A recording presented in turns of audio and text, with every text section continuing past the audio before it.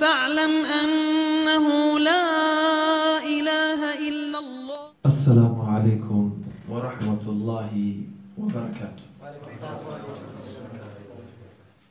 Hur mår ni? Allah, förlåt oss lite för förseningen. Men nu är, nu är vi ändå här. Och jag hoppas inshallah att vi kommer kunna ha en kort påminnelse om bönen. Inshallah. Och jag är faktiskt glad att vara här. Det är första gången jag är här i Strängnäs. Men min storebror, han brukar jobba här. Så jag, jag är bekant med namnet i alla fall. Och jag hoppas att om det går bra idag att vi kanske kan ha lektioner framöver. Kanske med andra studenter som också har studerat i Medina. För det är inte så långt från Stockholm hit märkte jag. Och eh, lägg mobilen på hyllan, inshallah. Och jag vill även tacka, efter att jag tackar Allah subhanahu wa ta'ala, så vill jag även tacka människorna som har hjälpt mig att komma hit, eller bjudit mig hit. Jag känner mig jättevälkommen med fika och vad ni har fixat och trixat och så vidare. Eftersom profeten sallam sa att den som inte tackar människor har inte heller tackat Allah. Så det hör till tacksamhet när du vill tacka Allah att du visar godhet och tacksamhet även mot människor som har gjort gott till dig. Gott mot dig. Så tack så mycket allihopa. Eh, lektionen ska handla om bönen. Och jag la rubriken eller titeln Inte utan min bön. För att bönen, det är det viktigaste i en muslims liv. Kom ihåg det. Det är det viktigaste i en muslims liv. Inte det som, jag har mitt liv, jag har mitt schema, jag har min träning, jag har min skola. Bönen, jag ska kolla vart den passar in i mitt liv. Nej! Bönen är ett. Resten ska du titta, hur passar det med min bön? Hänger ni med? Och människor i förhållande till bönen kan delas upp i olika typer. Det finns de människor som aldrig ber, alltså muslimer som aldrig ber. Subhanallah, må Allah skydda oss från att inte be. Amin. Och må Allah vägleda dem också. Amin. Finns de eller finns de inte? Folk som säger muslim bror, här, islam i hjärtat. Iman i hjärtat. Islam. Iman är i hjärtat, det är sant.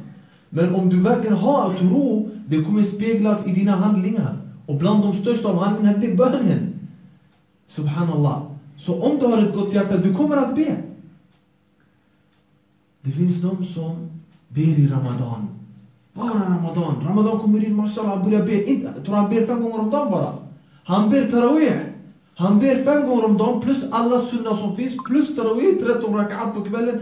Det visar vad? Det bevisar att även innan och efter Ramadan han kan be fem gånger om dagen. Nu han ber kanske mer än 20 gånger om dagen. Ska inte han kunna be fem gånger om dagen? Han kan. Men det är en inställning han har. Bara nu Ramadan, jag ska ge järnet och jag ska göra mitt bästa att be. Vänta inte tills Ramadan kommer. Säg till folk om han säger Ramadan, vänta inte, man ska börja nu. Om man inte ber idag, så ska man börja be idag. Eller hur? Men det finns de som bara ber under Ramadan. Det är fel att bara be under Ramadan. Men det är bättre för han att han börjar be under Ramadan än att han inte ber alls. Men att ha inställningen bara Ramadan ska dyrka Allah, utanför Ramadan, Allah finns inte, nej, det är fel. Och sen har vi de som ber fem gånger om dagen. Men slarvar med bönerna, tiderna. Skolan, jag ber duhr sen när jag kommer hem. Tiden är ute kompis. Jag har träning, jag ber, jag slår ihop Maghreb Isha senare. För din träning, det är inte giltigt att slå ihop sådär bönen. Bönen har sin specifika tid. Och det är jättemånga av oss som är i den här kategorin. Att bönen kommer in och du vet att vissa känner att kanske jag vill bara bli av att jag har gjort min bön. Han längtar inte ens efter att träffa Allah. Han längtar inte till att be.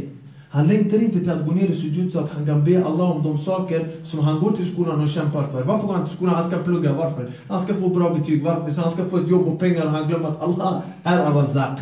Den som försörjer han. Så den som säger jag har inte tid med det här att be, jag är upptagen. Upptagen med vad? Med dunja? Med det här livet som ändå ska försvinna snart. Vi lever bara några dagar, sen är vi döda. Profeten sa att bönen är ett ljus. Och de lärde förklara ett ljus vad? Ett ljus i det här livet, ett ljus i ditt ansikte, ett ljus i ditt hjärta och ett ljus i din grav. Du vill förbereda dig för nästa liv, för din grav, eller hur? Då är det viktigt att du har med dig bönen. Profeten sallallahu alaihi wasallam har nämnt i en annan hadis att det första man frågas om på domedagen, vet ni vad det är? Salah, bönen. Första frågan på ditt prov, Tänk dig ett prov som du redan vet vad frågan kommer vara. Och du vet vad svaret är. Och ändå är man slarvig. Om bönen är bra, profeten fortsatte, då kommer resten av ens handlingar att vara godkända, accepterade och bra. Om bönen är dålig, kallas IG med dig. Det var IG, förstår ni? Tänk de som aldrig ber. Så det är viktigt att de som ber, ber i dess tider. Och ber ordentligt, lär sig hur man ber.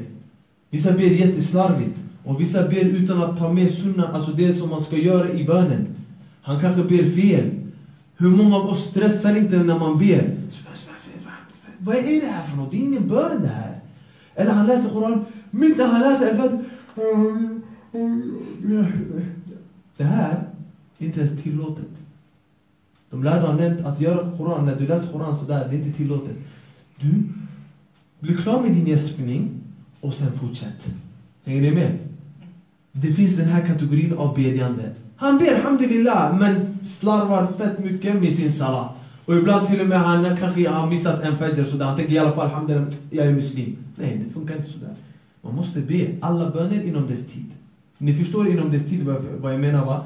Alltså från duhur till asr, inom tidsramen. Man behöver inte be prick när duhur kommer in. Vi säger att du är mitt någonstans i tunnelbanan eller bussen. Du säger duhur kom in, du får på muslimappen så du duhur. Ha? Du börjar be i bussen. Nej, åk hem, du har tid. Gå till moskén, det finns tid. Till och med i moskén när bönen kommer in, vi ber inte direkt. Vi är där, vissa gör wudu, vissa, vad heter det, ber sunna. Finns de här personerna när det kommer till bönen? Kanske vi bland dem, ärligt. Som ber fem gånger om dagen men inte riktigt noga med tiden. Sen har vi de som ber bönerna i dess tid och med inlevelse. Och det är de som är de framgångsrika. Det är de som Allah själv har nämnt i Surat al-Mu'minun. قد أفلح المؤمنون الذين هم في صلاتهم خاشعون att de troende är framgångsrika. Vilka? För när du läser Koran, du hör de här är framgångsrika. Vilka är de här? De här ska få känna vem? De som ber med inlevelse. När han ber, nej, han, han ber med inlevelse, han ber med Guds fruktan, han tänker på vad han säger. Han ber inte bara för att TVn är på nu, han håller på att kolla på någonting. Han ber snabbt för han ska hoppa tillbaka till matchen. Han ska hoppa tillbaka till telefonen. Han ska bara bli av med den snabbt. Då har man ingen inlevelse. Jag kan säga ett råd till allihopa. Det är helt onödigt att stressa bakom imamen. Vet du varför? För hur snabbt du än ber kan du aldrig bli klar innan imamen. Vad är nyttan då? Att du, bara, du, du kan ändå inte säga amin innan han är klar med sin fatiha. Du kan ändå inte säga salam salam innan han är klar med tashahud, innan han är klar. Så det är helt onödigt, oväsentligt att du ens försöker stressa bakom imamen. Subhanallah. Så det här mina bröder, det är bara ett intro till de olika typerna av folk som ber. Må Allah rena våra hjärtan och göra oss bland de som ber alla våra böner inom dess tider och med inlevelse. Amin. Hur man kan få inlevelse, det är en annan lektion i sig. Kanske man kan skriva om det på Facebook eller prata om det i någon annan lektion. För det är ett viktigt ämne. Kanske mashallah, du ber alla dina böner i tid och du gör wudu och allt. Men inlevelsen, du tänker hela tiden på annat. Hänger ni med? Det kan hända oss, eller hur? Händer det inte oss? Plötsligt du ser någon film, du ser, kommer ihåg, du har glömt någonting. Du minns något namn, du minns det här. Du, din bön har gått och du har glömt vad du läste i första och andra rakan. Du har glömt. Är det inte så? Vi glömmer, subhanallah. Nyss, jag bad nyss dår. Efter teslim, jag måste tänka, vad läste jag? Det är för att inlevelsen är borta. Och för att visa bönens vikt. För vissa kanske tänker, lyssna, bönen för mig, det är bra. Spirituellt det är bra att du ber, mashallah, till dig. Mashallah alik. Men bönen är inte så viktig, kanske, i hans liv. Han känner, jag behöver inte be. Eller hur? Kanske han tänker så. För dig, det är bra att du ber. Nej, det är bra att du också ber. Det är bra för hela mänskligheten att de ber. Alla beordringar i Islam, allt det haram, halal, det du måste göra, saker och ting i Islam. Vet du hur du kom till profeten sallallahu Är det någon som vet? Hur en beordring kom? Ha? Vad var det frågan? Frågan var, i Islam, när någonting kom, du får inte dricka alkohol. Vet du hur den här beordringen kom ner till profeten? Via vem? Eller hur? Allah till Jibril till profeten Muhammed sallallahu Bönen då? Vänta. Steg först. Nej, nej, nej. nej. Den kom när han gick upp till... Allah, exakt! Kolla hur viktig den är. Allah lät profeten sallam, inte vid ängeln Jibril kom ner, kom upp till högsta himlen. Han fick komma så högt upp, inte ens Jibril fick komma dit upp. Han kom högst upp. Han träffade Allah subhanahu wa ta'ala, han pratade med Allah och Allah ger honom bönen. Var det fem böner? Hur många? 50! För att visa vikten av... Hela ditt liv skulle handla om att be. Så viktig är bönen. Så profeten sallam tog emot bönen, 50 böner. Sen på vägen ner han träffade vilken profet? Musa alaihi salam. Så sa till han din umma, de kommer inte klara, gå tillbaka. Så han fick gå fram och tillbaka tills det blev fem. Till och med fem böner och folk de orkar inte. Och det är inte så att du måste be fem böner på en gång så att det blir fem, fem, fem. Det kanske blir en halvtimme. Det kanske blir jobbigt för en person. Allah har låtit bönen vara i olika tider. Tre minuter på morgonen, fajr. Du ber inte fajr i 30 minuter. Du ber tre, fyra minuter. Du läser Qul Allah ahad, Qul du bi rabbin nas. Eller hur? Så du ber din fajr kanske i fem minuter. Sen, du har lång tid tills duhur. Duhur, det är på dagen. Du ber duhur. Hela tiden Allah kallar dig tillbaka till honom. På morgonen, på kvällen, på dagen. Kom till Salah. Påminn om din Herre. För vi är så upptagna ibland med dunja att vi måste påminna oss om vem? Om våran Herre. Varför vi lever. Är vi inte ibland, vi glömmer bort oss själva i det här livet. Vi jobbar, vi är i skolan, vi tränar, vi glömmer bort Allah. Man tänker inte på Allah. Förutom när det blir problem då Allah. Innan straff, du ska skjuta straff. Nu, nu Allah finns för dig. När du ska göra, skjuta en straff. Eller när du ska göra prov. Han ber jättemycket innan prov. Han aktar sig från allt haram. Så att alla ska hjälpa honom på hans prov. Det finns ett annat prov i graven. Prov, domedagen också. Vi ska ställas till svars och fråga framför Allah vad vi har gjort. Och bönen tar bort synder. Bönen tar bort synder. Har ni hört hadisen där profeten sallam nämnde till sahaba vad, de, vad, vad skulle ni säga om ni hade en flod framför er dörr som ni gick och tvättade er fem gånger om dagen? Skulle de fortfarande vara smutsiga? Om du har en flod, du går fem gånger om dagen, du tvättar hela. du blir inte smutsig. På samma sätt i bönen, den renar från synder. Och den renar en från synder. Så det här visar vikten av att be. Att Allah själv gav bönen till profeten sallam och gav den som 50 först. Men den reducerades till fem och därefter fick vi ändå, får vi ändå belöningen som att det är alltså för 50. Allahu Akbar. Och vad är dygden av att be? Det finns hur mycket som helst att nämna kring dygderna av att be. Jag ska säga till er en fin hadis där profeten sallam sa, kolla på den hadisen. Att när muslimen ber så placeras synderna på hans huvud. Tänk dig alla synder man har gjort. Vi gör synder varje dag. Morgon, kväll, hemma, på natten. Folk gör synder på mobilen, på datan. Kanske någon gör synder med andra människor. Du vet när man är själv, subhanallah, må Allah skydda oss. Profeten sallam sa att synderna läggs ovanför hans huvud. Och varje gång han ger sujud, det vill säga när han går ner med pannan på marken, så tas det bort synder från honom. Varje gång du gör sujud, synder tas bort från dig.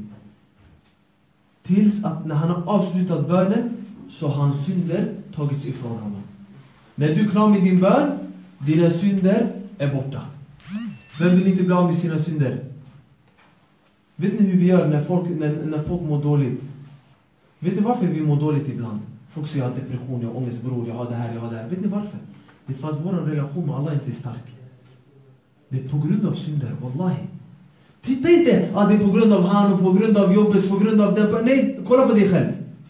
Det är de synder jag gör som svartar ner mitt hjärta och svartar ner mitt liv och gör så att jag mår dåligt. Wallah, synder har konsekvenser. Synder har konsekvens. Mår du bra när du syndar? Nej, du mår inte bra. Tänk du syndar och syndar och syndar och syndar. och syndar. Självklart du ska må dåligt.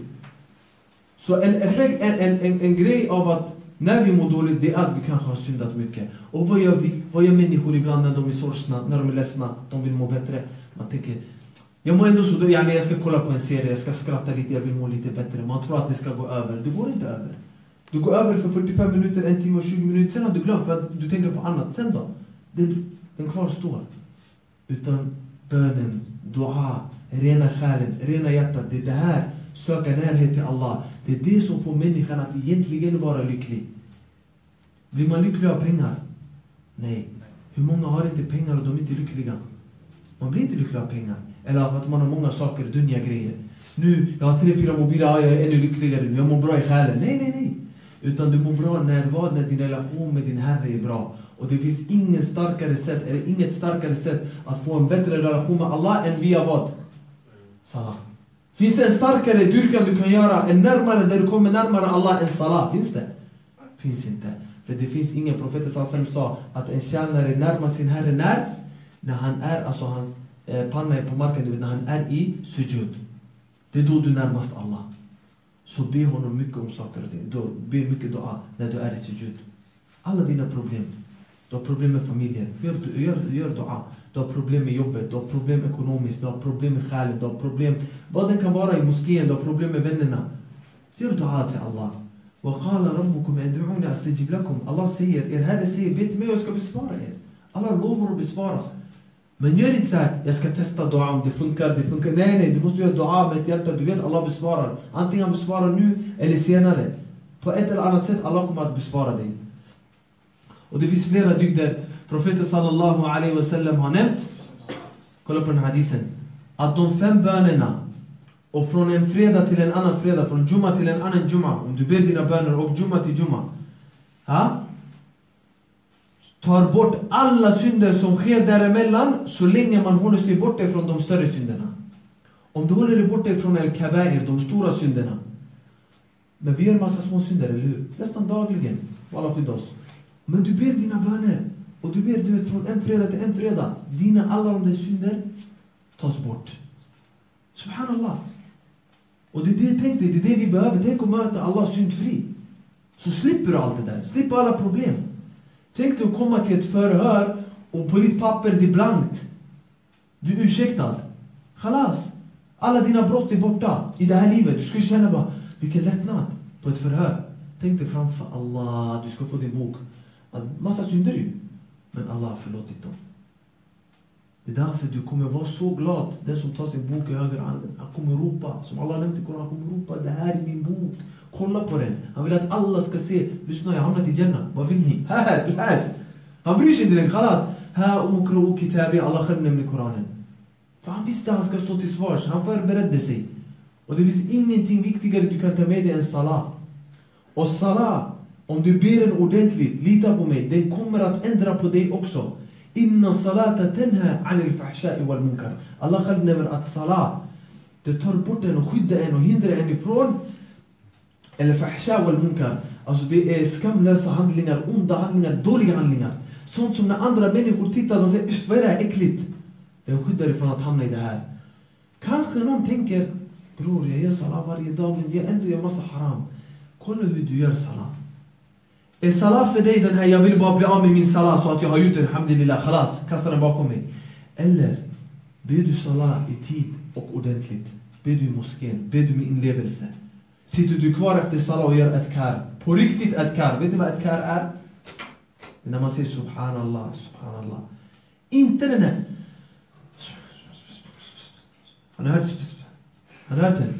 Vi själva hamnade han, han pratar i telefon samtidigt. Vad är det för adkar? Det är inte adkar. Du hälsar på folk samtidigt, du gör adkar. Hur, hur kan du göra det här samtidigt?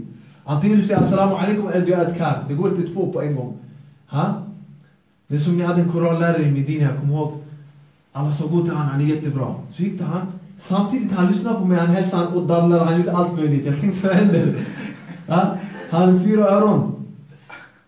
El-Muhim, vad jag vill komma fram till det är att tänk dig en salah i lugn och ro och efter du gör adkar i lugn och ro. Subhanallah 33, Alhamdulillah 33, Allah Akbar 33, Läser ayat al-kursi och alla andra dhikr och dua man ska göra. Tror du att du kommer fortfarande alltid, om du gör så här dag in och dag ut, att du kommer vara samma person? Så fort du går ut i moskén, du bara tar, äh, börjar svära i telefonen. Nu ska du svära? Du, nyss din mun har sagt massa subhanallah. Ska du börja svära direkt efter? Ha? Men om du är den här, jag ber Paff direkt. Tjafs, direkt ut, direkt eh, prata med någon, skriva till någon. Ah, ah. Nej, be i lugn och ro. Bönen ska göra så att du blir en bättre människa. Annars, det är fel på, på dig, hur du ber bönen. Inte bönen i sig, att man ber. Utan det är fel hur du utför bönen. Hänger ni med? Kan vi vara överens om att vi låter bönen vara alltså, det centrala i våra liv? Det är center, det är mitten.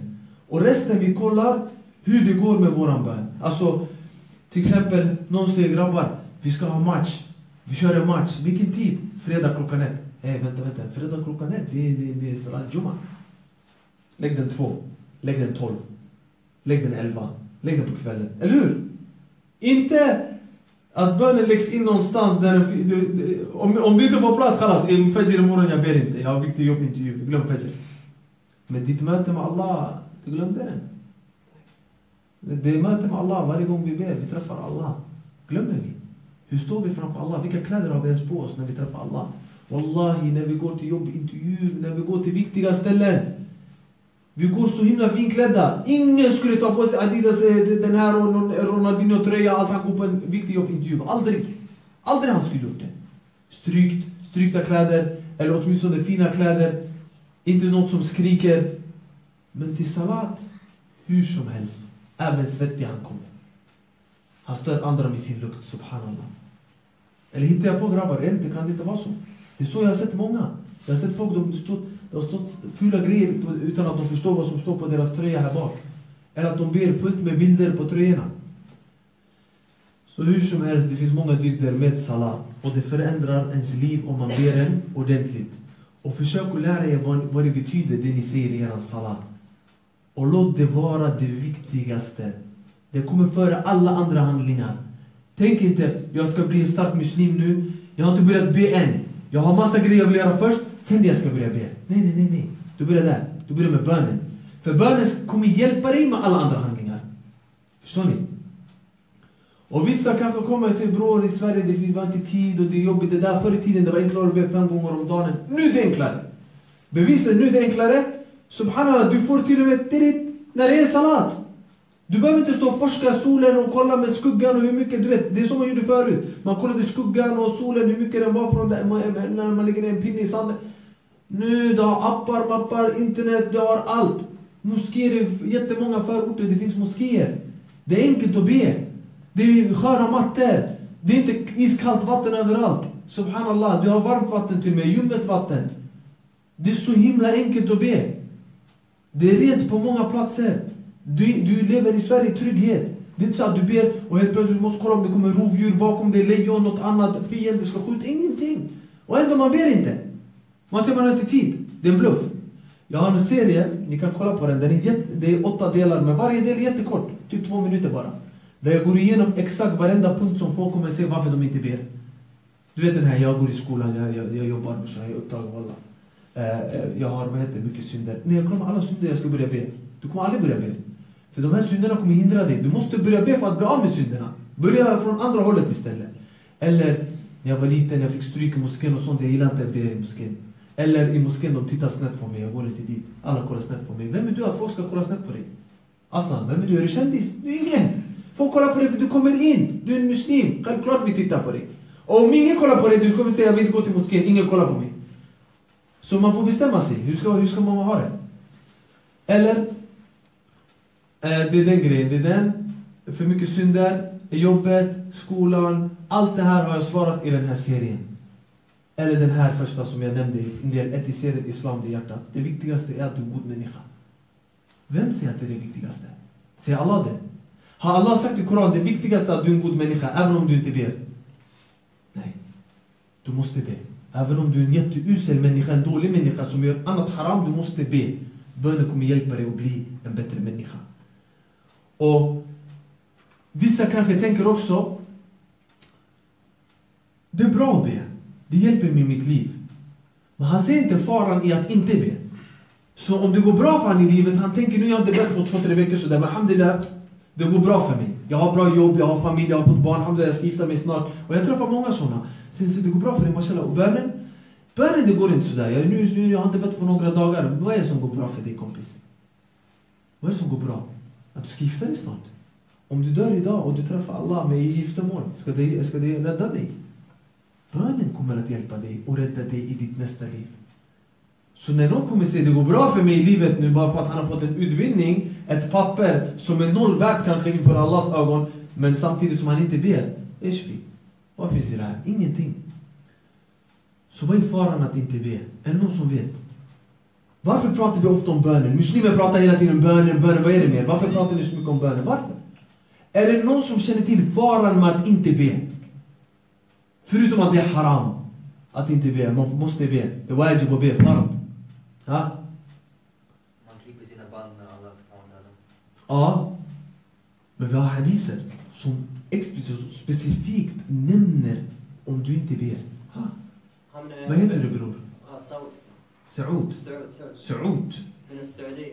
أنت من السعوديه؟ لا مواليد السعودية. آه أنت من أين؟ الرياض. الرياض؟ إيه. ما شاء الله. درست في السعودية. ممتاز. أيوه في المدينة المنورة. إيه. الله يحييك.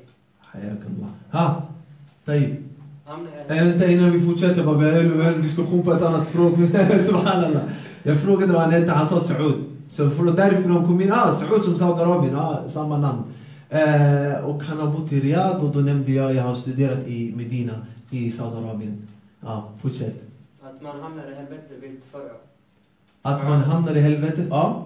Det första de kommer fråga, de som är i helvetet, vet du, de kommer frågas. Varför, vad, vad, vad har hänt? Varför är ni där helvetet? Vad är det som har hänt? Vad hamnar, varför hamnar ni här? Lem? Tack. Lämna min al-musallin. Vi var inte bland dem som bad. Subhanallah, kolla svaret. Och vi lever nu i dunia och vi läser deras svar och ändå får ber inte. Subhanallah. Nu du har chansen, du har fått facit. De som hamnade i helvetet, de bad inte. Det här ska få en person att börja be och tänka subhanallah, jag vill inte hamna i helvetet. Profeten sallallahu alaihi wasallam, jag har några hadiser med mig här. Orkar ni? Två, tre hadiser sen.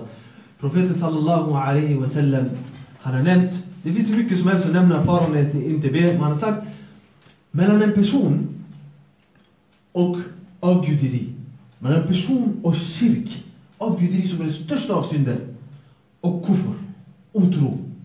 Det är inga små grejer profeten nämner här. Det är de största av alla synder. Alltså avguderi, som Allah inte förlåter om du, inte- om du inte gör toba innan du dör, om du inte ångrar dig innan du dör. Och kufr, otro, som kan ta dig ut ur islam. Mellan en person och kyrk och kufr är att man inte, alltså den uteblivna bönen, att du inte ber. Det- Ja, är inte allvarliga hadis? Det är jätteallvarlig hadis. Det är inte så om du inte ber, det är lugnt, du, imorgon du kan börja be om en vecka. Nej. Profeten sallallahu har nämnt, och hadisen är autentisk, Sahih Muslim. Profeten har nämnt att pakten mellan oss och dem är bönen. Den som lämnar den har härdat. Och hadisen finns i Tirmidhi och Ibn Majah. Vad jag vill komma fram till i den här biten att den som lämnar bönen har härdat. Han har gått ut ur Islam.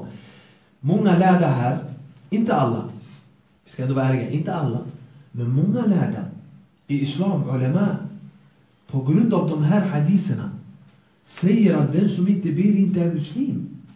Det är allvarligt, wallahi det är jätteallvarligt.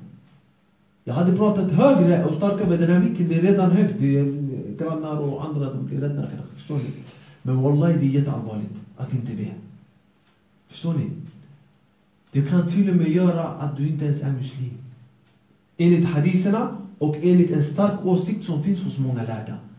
Sen finns det de självklart som säger nej, det är inte, du, du är fortfarande muslim så länge du anser att man, att man måste be. Men att det är en stor synd, subhanallah. Och profeten sa för att bestyrka det här, en annan hadith, Bukhari och An-Nasai, att den som låter bli att be asr, bönen, en bön, asr, har förlorat sina handlingar.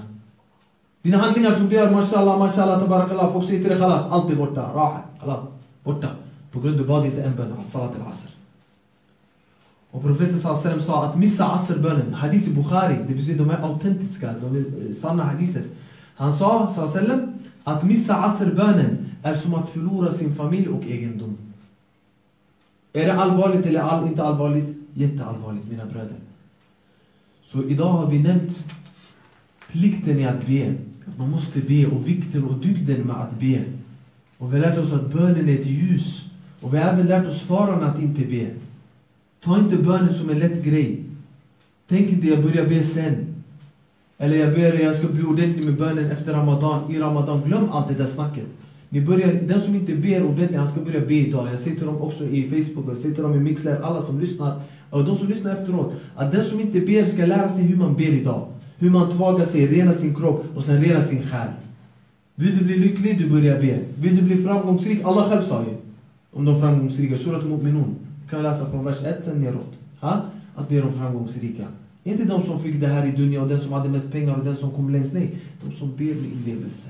Och om du känner att du inte har inlevelse, försök att lyssna på lektioner som har med inlevelse att göra. Och om du vill lära dig hur man ber, till exempel du kanske säger jag ber, men jag kanske inte ber korrekt. Eh, kan man hålla så? Ska man stå så? Ska man hålla så? Så, så? Vad ska jag göra? Kanske man inte vet. Det är, inget, det är ingenting som jag säger, äh, varför vet man inte? Vi bor i ett land, man lär sig inte det här i skolan. Man lär sig inte det här på fritidsgården i fotbollsträning. Det här måste ens föräldrar lära en, eller moskén.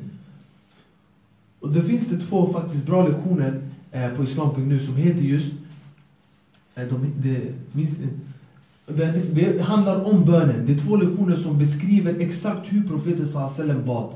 Så att vi kan be enligt hadisen där profeten sallam sa Be som ni har sett mig be. Så att vi ber korrekt. Eller är ni med mig grabbar? Eller hur? Så att vi ber korrekt åtminstone, så att Allah accepterar våran bön. För många av oss nu, vi ber och vi tänker automatiskt Allah accepterat bönen. Säger vem? Vad är eran bevis? Allah accepterat din bön. Slarvig bön, stressig bön, vet inte ens vad du säger i din bön, ingen khushu, ingen tanke. Du har tänkt på hundra andra grejer, din bön kanske din ajr är liten. Men sen annan han bön, han bad i lugn och ro. Och han tänkte vad han sa. Och han grät i sin bön. Och när han var i sujud, i lugn och ro. Subhana rabbi al-a'la, i lugn och ro. Inte subhana, subhana. Ibland när jag hör folk bredvid mig, jag tänker hur han äter upp orden.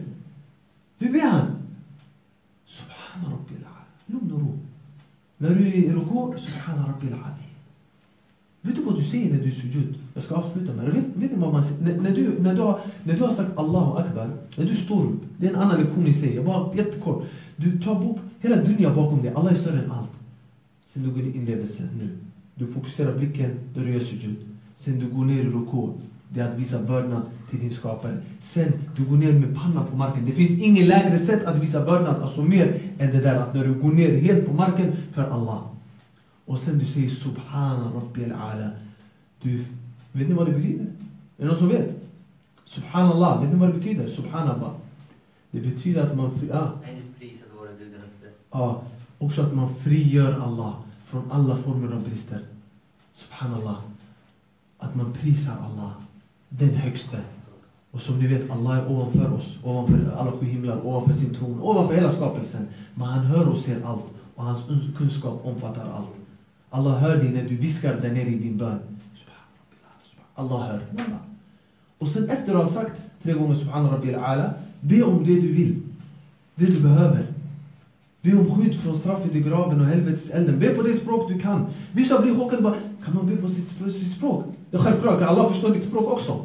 Men det här är efter att du har bett det obligatoriska, det du måste säga. Så Subhan Rabbil Adim, Subhan Rabbil Ala och så vidare. Då kan du be, när du är i sujud kan du be på ditt språk också, vilket de lärde har nämnt. be om det allting, Allah Ge mig ett gott hjärta, gör mig till en god människa, vägled min familj, hjälp mig nästa liv, ge mig Jannah, må Allah förlåta oss alla. Amin. Wa subhanakallamma wa bihamdik اللهم وبحمدك أشهد أن أنت نستغفرك ونتوب إليك alaikum wa rahmatullahi wa barakatuh.